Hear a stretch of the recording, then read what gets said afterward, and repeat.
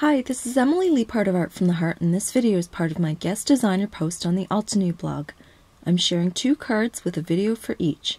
This first card features the Hug Me, Coffee Love, and Coffee Talk stamp sets. Both Hug Me and Coffee Love come with coordinating dies, and I'll be using those as well. First, I'll create a background using the heart-shaped coffee ring from Coffee Talk. The middle row will be stamped in the lightest of the three colors I've chosen, starting with sand dunes. Then I'll work my way out to the top and bottom edges with Rocky Shore and Mocha. This card panel is half a letter size sheet of cardstock so I can cut it down and have the hearts perfectly centered on the panel. That way I don't have to worry about stamping so precisely. Now that the sand dunes line is complete, I'll start stamping with Rocky Shore above and below that line. I'll fast forward through the completion of the stamping with Mocha at the very top and bottom of the background. When all the stamping is done, I'll use a generic A2 size die to cut out the panel.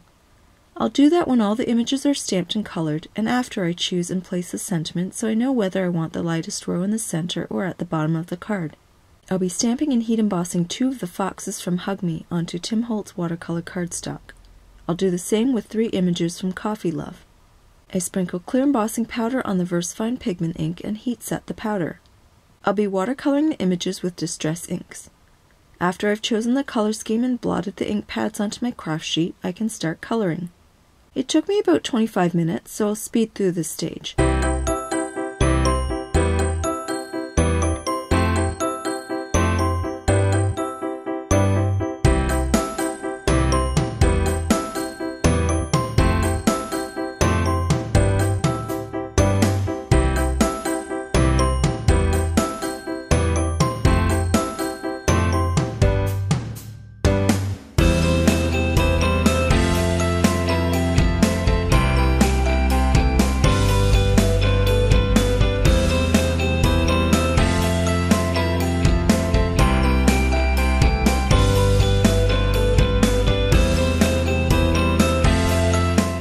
I also used my heat tool to speed up the drying process.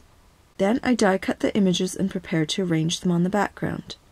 After determining final placement of the images and sentiment, I tape down the die which will cut out the panel. You can of course use a design ruler to mark the edges with a pencil and use a paper trimmer to get the same result. Now that the panel has been cut, I will rearrange the images as I had them and make sure they're where I want them to be. Looking at it this way, I want to mute the background a bit, so I cut out a piece of vellum and slide it behind the images.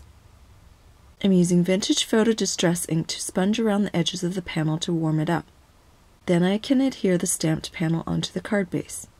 Next, I need to heat emboss the sentiment on the vellum before attaching it to the card base. I use the embossing bag before stamping and then apply clear embossing powder. I set it with my heat tool and now I can adhere the panel to the card base. I use a special vellum adhesive to adhere the vellum, and if you love to use vellum, I highly recommend vellum tape. I love that it's practically invisible.